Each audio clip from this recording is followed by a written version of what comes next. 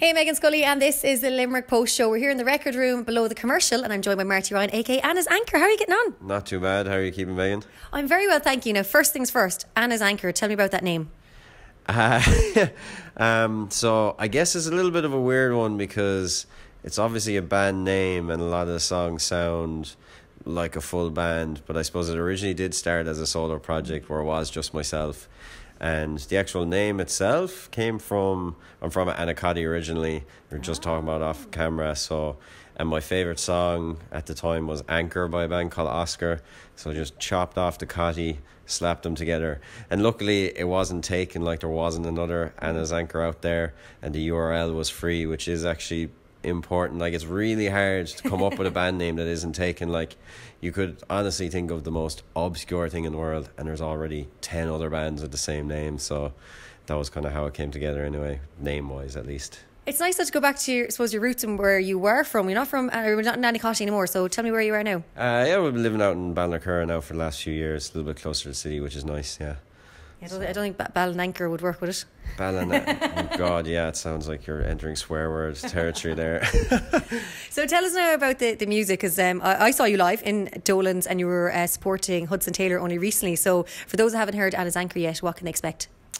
Uh, well, I suppose it depends on which show they go to because that was solo, let's say. So, like, most of the time it is solo, and I do tour predominantly solo, even though the show that we have coming up this week in the commercial, that's a full band mm. affair. And we do play full band every once in a while, kind of whenever whenever the occasion is appropriate, I guess. Um, so if it's on my own, it's usually I I do tell a lot of stories. I guess it's like almost half storytelling, half playing songs because suppose I find like with just one person acoustic mm. guitar is like very limited as to what you could do. So when I first started out, I was like trying to think how can I do a little bit different. So I do talk an awful lot when it's a solo thing. So I guess that that's like at least I'm attempting to try and make it like a little more of an intimate affair by doing that. And then when it's full band, like those are just that's like way totally different. It's like completely different world. It's like you know, big loud songs, I guess, and um, it's usually like anytime we've toured full band, it's been around like the release of an album or mm. something mm. where we've kind of been able to justify touring full band. Yeah. And for me personally, that's always been like the most rewarding thing, and it's been like such a special occasion, especially when you have people that have been coming to see, mm. let's say myself play solo for like. It's going on like five years now, and then I suppose we all get to experience the songs how they're meant to sound, then on this like one kind of rare occasion so it feels really special for me so um, yeah, those are the kind of two worlds when it comes to the live setting, I guess. Unreal. Um, now I know Dermot Kennedy always tells stories before all of his songs, so he's had okay. great success. But I was at the Hudson Taylor gig, and I remember your last song. You had told a very poignant story about the the song that you wrote for a friend. Can you tell me about that? Uh, yeah. So that was about my friend Kev, who unfortunately passed away two and a half years ago. Um, actually Dr. Kevin Hayes because after he passed away, some of his cohort actually um, finished out his PhD pro wow. or his PhD project from, which is amazing. And um, um, we even had Michael D. Higgins actually unveil a plaque in his name out in UL. But um, Kev actually passed away from sudden adult death syndrome two and a half years ago. Um, that particular song, I guess, I'll try and summarize it as quickly as possible.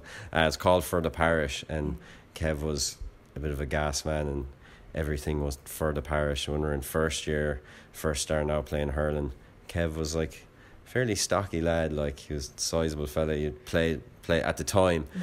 and he played full back. And I just remember like a big ball came in over the top, and he hit a young fella absolute belt of a shoulder while he was screaming for the parish.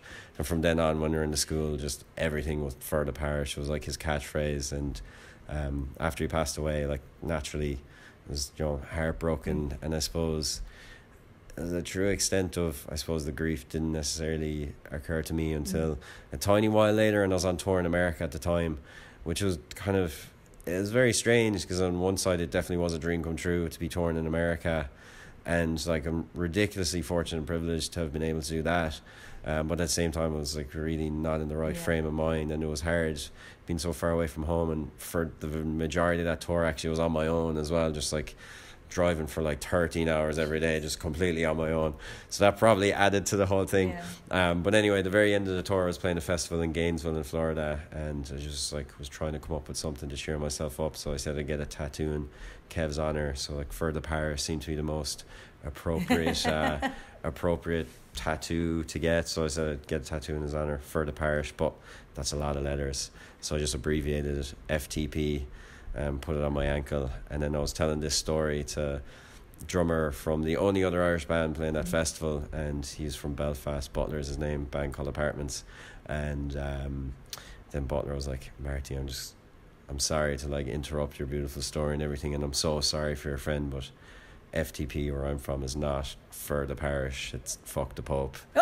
so I guess I probably should have asked you, like, can I swear on this? But you can bleep it out Yeah. anyway. People know. So yeah, I have that tattooed on my ankle now, and I suppose I can never wear shorts around Belfast ever again. Anyway. Oh my gosh! I actually now that you say it, I do remember you telling the story. I know for the parish, obviously, then was is like it's as I said, like it sounds like it's so such a cool phrase. as it's like you know, we always say it as well. I'm from a small parish, so Yeah, it's always and, like and exactly. Kev was from out out the country, I guess, but like Culshy coming into school, kind of fairly close to the city, so he was like really embracing his inner Culshy. So like, yeah, absolutely everything was for the parish. Yeah. I absolutely love that story. And I, think, I remember you saying telling the night. I thought it was so so good. Now, do tell us, of course, we did say you are playing here on Friday night, and it's a full band. So tell us about that. Saturday night, if I'm correct. Oh, Sa- Saturday. Saturday, December the seventh.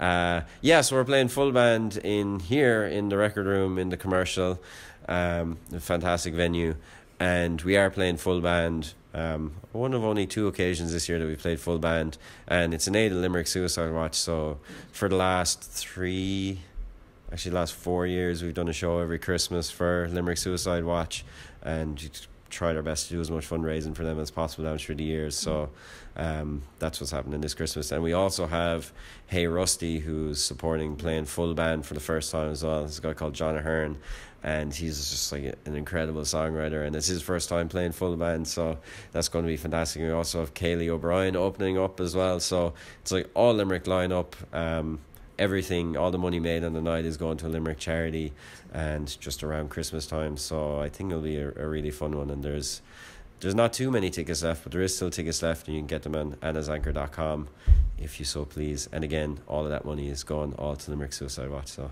Absolutely incredible. Um, now you are going to perform for us in a little while solo, but um, before we let you go, where can we find you on social media? Uh, literally everywhere. Like I said, luckily Anna's Anchor isn't taken already.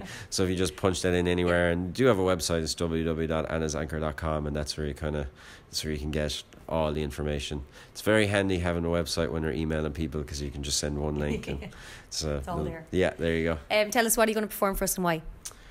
Um, I have to think about that there now. Uh, I'll probably play a song called People's Park, Oh. uh, which is a, a new one actually, and I've been doing a bit of a mad project over the last well, it's about last seventeen weeks now, where I've been doing a podcast where I'm interviewing a different person from a different county every week, and I'm also writing and recording a new song every week. Wow. So yeah, it's been actually very stressful. it's like every everything in life has been difficult since I started this, but it's been great crack. So this is one of those songs, and uh, yeah, I guess it's like kind of appropriate. Yeah. Um, Marty, aka Anna's Anchor, thank you so much for trying to Limerick Post Show. Thank you so much for having me. Really, really appreciate it. Thanks, Meghann.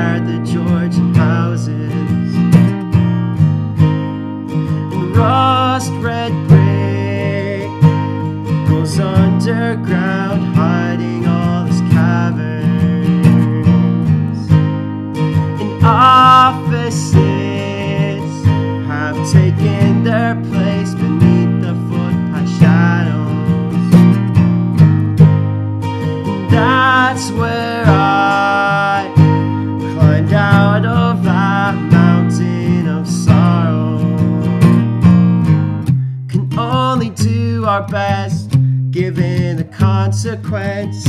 We don't owe anything. Can only do our best, given the consequence. We don't owe anything.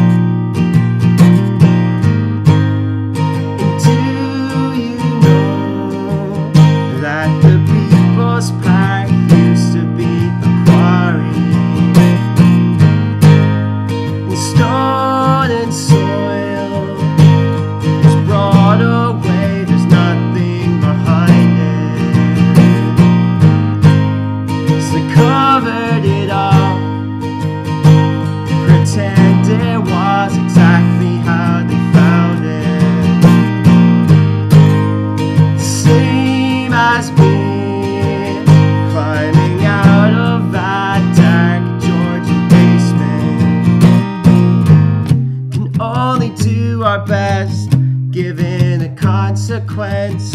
We don't owe anything can only do our best given the consequence we don't owe anything